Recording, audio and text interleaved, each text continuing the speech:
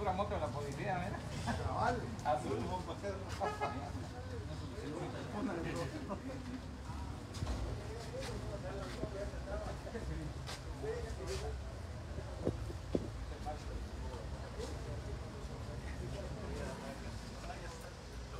Ya seguimos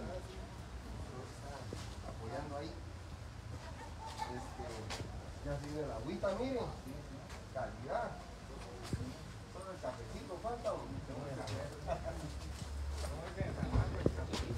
El cafeíto. No, es, te vamos a empezar la inversión para que ustedes van a Sí. Sábado. El sábado fue, ¿va? En la noche. Cacería Buenavista específicamente. Pues aquí vamos a hacer un recorrido y después la reunión. Ah, sí. Pues la idea acá, el director va a tener una reunión en un momento con sus mandos para poder platicar de las coordinaciones, sobre todo porque entendemos que están en Mercedes, está de feria y también Santo Domingo y entendemos la incidencia criminal de pandillas de Mercedes. Vamos a hacer una paradita en Mercedes, entonces aquí vamos a acompañar unos minutitos al señor director en su visita. Bienvenido, director. Vamos a acompañar los medios. David Boteo, coméntenos acerca de su recorrido que tiene hoy por lo que es el municipio de Coloma y sus alrededores. Hemos entendido que es un recorrido que va a realizar usted.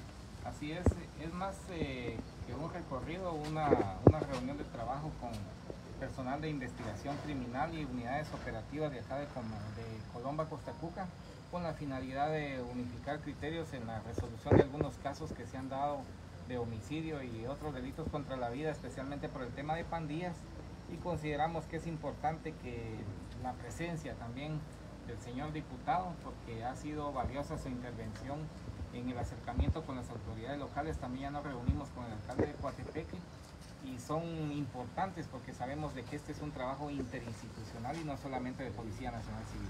Lamentablemente Colomba es un lugar donde pandilleros de la capital se vienen a refugiar, señor A-. Así es, lamentablemente, pues tanto la Mara Salvatrucha y suplica a los eh, locos centrales, en el caso de Barrio 18, los Crazy Gangsters y solo para locos son las, las clicas que operan tanto en la zona 12 Villanueva, estamos hablando de Villalobos 2, Amatitlán, Palín, la María Matos, que también cuando sucede un hecho criminal ya se vienen a huir aquí y de aquí hacia allá sucesivamente. Entonces es un hecho que nosotros estamos trabajando para poder contener esa migración de pandilleros hacia este municipio.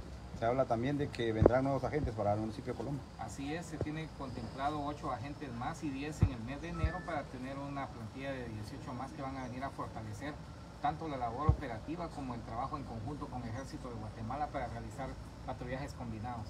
En cuanto, en cuanto a la, al patrullaje que van a estar realizando, la van a estar haciendo también en los centros educativos que estén en zonas rojas acá en Colombia. Sí, miren, en el, en el caso de prevención del delito ya tiene instrucciones de su director de enviar personal de escuelas seguras para poder tener esa comunicación inmediata y coordinación para el tema de registro también de alumnos a los centros educativos, ya que en estas visitas se ha generado alguna información que hay alumnos que tienen nexos con pandillas que van armados, ya sea con armas blancas o inclusive hasta con armas de fuego, como sucedió en el último hecho, que ingresan a los centros educativos. Tenemos entendido que en este último hecho eh, los maestros revisaban a los alumnos, pero por razones que desconozco lo dejaron de hacer. Es importante también la coordinación con maestros, señores. Así es, esa coordinación ya, ya, ya se viene hablando desde hace varios días y no solo aquí, sino también en el departamento de Guatemala donde tenemos mucho problema de, de- nexo de alumnos con pandilleros, ya sea por cultura o por, o por eh, familia, que también hay, es por herencia donde muchos niños se involucran en las pandillas. Estos registros educativos se van a seguir dando en estos lugares donde hay presencia de pandillas para poder contener de alguna manera el delito. Señor director, un hecho lamentable también se registra el fin de semana en lo que es el municipio de Coatepeque. Seis personas fueron asesinadas dentro de un eh, café bar. ¿Qué nos puede comentar de eso? Sí, lamentablemente Policía Nacional Civil ha estado realizando operativos con multisectorial a nivel nacional, pero lamentablemente esta- estos negocios están por ley autorizados hasta la una de la mañana. Inclusive se ha tenido que llegar a algunos lugares donde los vecinos llaman porque hay exceso de volumen en estos clubes nocturnos, pero lamentablemente, como le decía, se han estado realizando co- constantemente, pero el horario eh, es un horario que viene a complicar también la seguridad de, de guatemaltecos. Entonces es un tema que estamos trabajando interinstitucional. Hace unos momentos, como le decía, nos reunimos con el, el señor alcalde de Coatepeque y se van a realizar labores interinstitucionales con los juzgados de asuntos municipales para poder también sancionar aquellos negocios que no cumplan con lo establecido. ¿Alguna información que nos pueda brindar acerca de cómo es que se registra este ataque, señor? Pues mire, doctor? por el momento lo tenemos únicamente como avance, que es un tema ligado a las pandillas. Ya tenemos algunos avances importantes que se dieron en las primeras 24 horas y consideramos que en los próximos días vamos a tener ya resultado de, de este hecho. Se habla también de un posible sindicado que también fue ingresado con impactos de bala en- al hospital. Así él, él fue ya puesto a disposición de, de- de juez competente.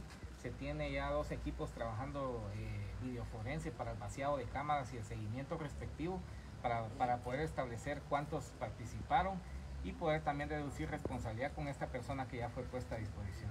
Señor director, acerca del- de los elementos que le trabajan al DEI que ustedes tienen ta- establecido acá en Coloma para Sí. las investigaciones. Así es, eh, personalmente eh, le indiqué al jefe de, de DEI que estuviera aquí conmigo para poder ver en sí el tema y los avances que se tienen, así como de otros casos que, que vamos a operativizar en coordinación con Ministerio Público y ese es el tema que traemos el día de hoy. Con relación a los policías asesinados en este municipio, señor director, ¿se tienen capturas al respecto? Por el momento ya se, tiene, se está trabajando el tema, en este caso pues tenemos, estamos trabajando en coordinación con Ministerio Público y ya ellos van a gestionar la orden de aprehensión ante juez competente. Excelente. Pues bueno, yo para terminar, Eh, hace unos días hubo una conferencia de prensa del subdirector y se habló sobre el grupo GESE. Eh, ¿Habrá presencia de ese grupo en Mercedes en Coloma? Así es, eh, el día de hoy se está haciendo esa gestión para que venga Lobo Grill a Coatepeque y Guese a, a Colomba, Costa Cuca para poder fortalecer los patrullajes en motocicleta. En cuanto a los hechos que han sucedido en los últimos días, eh, se ha implementado el patrullaje no solamente en Coloma, sino a sus alrededores. Así es, eh, precisamente lo que a un inicio indicaba el señor diputado, eh, el, el día miércoles van a haber ocho agentes más y en el trayecto de los días vamos a estar coordinando más eh, recursos logísticos como son motocicletas, que es lo que más nos sirve en este lugar. Yo creo que su presencia aquí, señor director, en el municipio de Colomba es muy importante. Yo creo que es una respuesta positiva a la población, quienes estarán visualizando a través de los distintos medios de comunicación. Su presencia en este lugar es una respuesta a que la seguridad acá va a ser realizada de la mejor manera. Así es, y de alguna forma se viene también a motivar al personal a que siga cumpliendo con su trabajo a cabalidad. En ningún momento se, se está, eh, se está también llamando la atención en una forma abusiva o prepotente en contra de los agentes policiales, toda vez de que sabemos de las carencias que tiene Policía Nacional Civil. En este año estábamos trabajando con un presupuesto del año 2023 y tenemos un déficit de 12 mil policías, pero primero Dios en los próximos meses y el año 2025 pues ya se va a tener de mayor recursos para poder tener mayor cobertura, que eso nos va a dar bastante credibilidad. ¿Qué mensaje tiene usted para la población de Colombas y a sus alrededores y también a nivel nacional, podremos Sí. decir? Lo principal es la denuncia ciudadana. El 1561 es una línea sumamente confidencial. También eh, esta línea, el 1561, se puede comunicar las personas a través de un WhatsApp. Pueden enviar fotografías, pueden enviar información de delincuentes, de casas donde vendan droga, donde haya presencia de pandilleros que migran de la capital a pernoctar y a cometer hechos delictivos a estos lugares. No es necesario que, que indiquen su nombre, esto va a garantizar que no va a existir ningún tipo de represalia en contra del denunciante. Y de igual forma el 1574, que es una línea antiextorsión, para que las personas denuncien, de igual forma que el 1561, para que den información pertinente y que Policía Nacional Civil haga allanamientos y haga capturas. En, cuan- mensaje- en cuanto a la subestación que muchos han estado solicitando en lo que es eh, Chubá. Chubá, Colomba, eh, ¿será que esto irá a ser posible en su momento? Sí, ¿Cuánto como- tiempo llevará para que sea una realidad que dicho lugar pueda contar con una subestación? Consideramos que en el mes de enero ya va a estar finalizada esa gestión y vamos a tener ya personal eh, trabajando en ese lugar. El mensaje para los padres de familia, señor director. sonando en cuanto a lo que hablaban de los estudiantes y que si los maestros se llegaran a descubrir, por ejemplo, que un estudiante lleve un arma ¿Y qué, qué podrían hacer en ese momento? Supongamos de que va con intención, porque si la llevó es porque tiene intención. ¿Qué se puede hacer en ese momento? Bueno, ahí definitivamente se tiene que poner a, a disposición y trasladar a al juez a, esta, a- Pero, a pero este un, maestro que está o otro compañero que lo logre descubrir, imagínense, estamos nosotros eh, a 15 kilómetros de aquí, ¿cuándo llega la policía? Y si este muchacho está ya metido en, en pandillas, ¿qué poder hacer en un caso? Pues ahí es la comunicación, es lo principal, que haya comunicación con Policía Nacional Civil. El día de hoy se va a dar la instrucción de que tengan ese acercamiento con los maestros y también hacerles conciencia a los padres de familia que tienen que ellos, ellos denunciar. Hay situaciones sumamente lamentables que, que también no se le puede dejar solamente la responsabilidad a los maestros y a la Policía Nacional Civil. La Policía Nacional Civil tiene que actuar eh, como último recurso. En este caso, pues los padres de familia deben también fomentar el amor y cariño a sus padres. Hemos notado en los últimos meses una falta de intolerancia. No es posible que para las fiestas patrias, eh, en estos días, que debe ser una de algarabía y de civismo, eh, observamos a muchas personas lanzando bolsas con orines, lanzando objetos contundentes, lesionando a niños, lesionando a padres.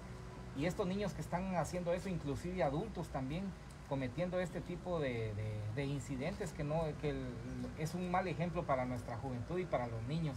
Consideramos que la, la información es muy importante y ese acercamiento comunitario que se pueda tener también tanto con vecinos como con maestros, con la Policía Nacional Civil.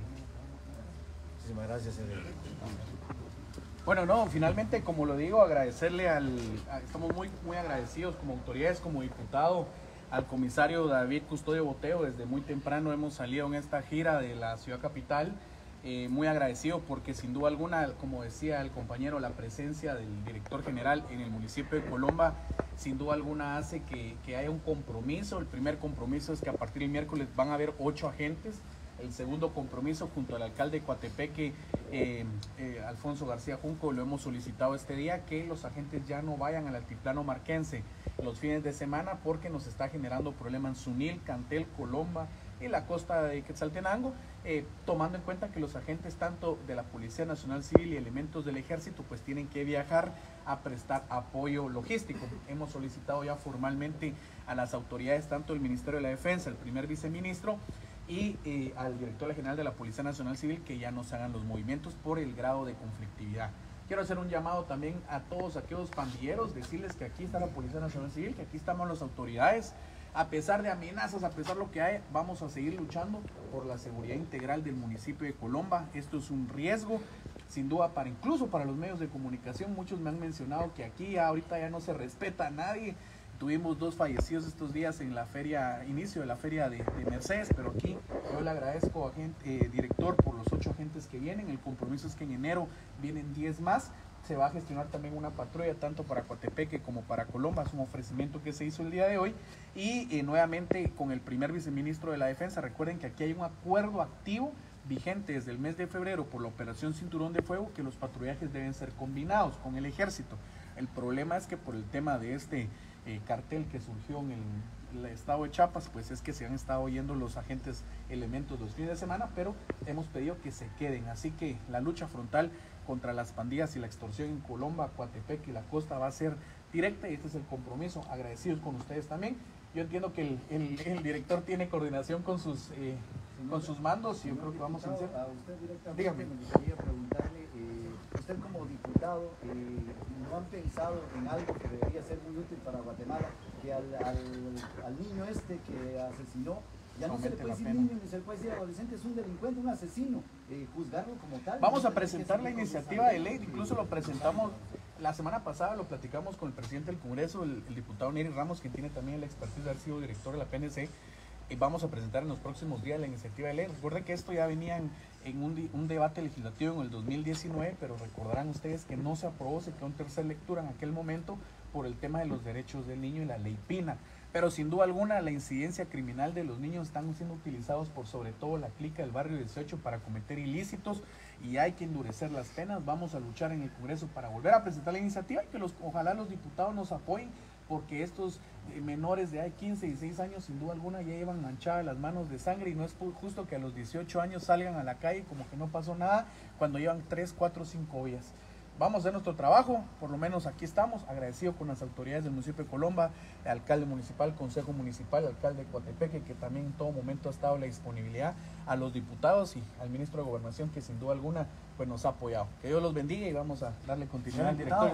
Si quiere, pasa usted y me quedo aquí. Señor diputado, eh, aprovechando su presencia acá en Colomba, el tema de la carretera. Es un tema Tenemos una excelente noticia de eso y quiero contarles que el jueves de la semana pasada tuve al viceministro de Comunicaciones, ya en un ratito vamos a postear el video, Max Alejandro García, quien me indicó eh, que ya está eh, solicitada la plica para que las empresas puedan participar y va incluida la carretera de Colomba. Entiendo que quedan 10 días, la citación fue el día jueves, la hicimos con el diputado Miguel Ovalle y Neri Mazariegos y nos indicó que la carretera de Coatepeque va incluida en estas plicas de mantenimiento a la ruta, por lo cual esperamos que, que el ministerio pues pueda generar el contrato en las próximas semanas y la carretera de Colomba finalmente pues ya va a ser eh, intervenida y se encontrará una ¿Cuánto solución. tiempo más o menos podemos Él nos indicó que eran 10 días todavía para que las empresas oferentes presentaran propuestas de alrededor de 50 proyectos a nivel nacional y posteriormente creería yo que 30 días para que celebren el contrato. Nosotros estamos presionando junto con un grupo de diputados para que se dé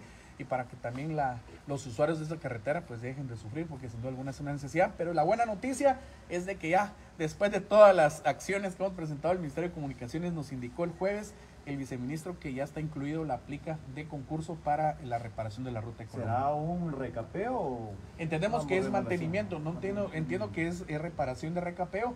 eh, esperemos que el otro año quede presupuestado, pero por lo menos esto va a ser un gran avance ya para que pueda avanzar el tema de la construcción de la carretera. su compromiso sigue con Ahí vamos siguiendo, trabajando todos los días, a pesar de que es difícil, es una labor. Ustedes saben, incluso la primera vez que yo vine aquí a ver el tema de la PNC, el barrio 18 me amenazó. Pero aquí estamos siempre luchando y siempre trabajando, no por política, ahorita no es tiempo de política, es tiempo de que nos unamos todos y que por lo menos el municipio de Colomba, que yo le debo mucho, salga adelante y, y que vean más Señor tranquilos y seguros una ustedes. pregunta. Ayer estuve viajando yo de Coatepeque a, a. Caballo Blanco. Ajá, Eh, ahí hay un hundimiento en la ruta de San Miguelito. el reposo. Eh, sí, en el reposo. Y pude visualizar que aún no se ha reparado nada en ese lugar. En este caso, el alcalde eh, Woody Méndez, ya nosotros con el gobernador de Quetzaltenango y el diputado Neri Mazareos hicimos una gestión, apoyamos a ellos para que tuvieran un acercamiento con el cuerpo de ingenieros del ejército. El eh, coronel Gómez, el general Gómez, que está encargado como primer viceministro del cuerpo de ingenieros, se, ya está en coordinación con el alcalde municipal Woody y con el gobernador de Quetzaltenango y están a la espera de la autorización de Covial en una autorización para intervenir la carretera y ver si eh, ellos no indican que el tema del puente de Bailing en este momento no es una solución, pero hay otras alternativas o buscar el relleno. El, el ejército, ahí está la transmisión, se comprometió que ellos tienen el, personal para hacerlo, pero no pueden tocar la carretera sin autorización de Covial. Yo me comuniqué el día jueves con el alcalde Woody, él ha estado pues apoyando a su municipio también y entiendo que eh, todavía no ha salido la autorización. Hacemos un llamado a Covial que apoye por favor este municipio, porque ya que el ejército y el cuerpo de ingenieros está a la viabilidad de poderlos apoyar, que suelten la autorización para que se pueda reparar cuanto antes esta ruta. También agradecerle a los diputados de Retauleo que están apoyando este proyecto y ojalá se dé y se podamos solucionar la- la- esta situación para los pobladores de esta área.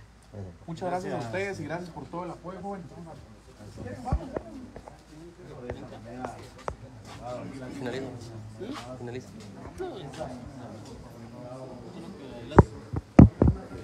Dale vos.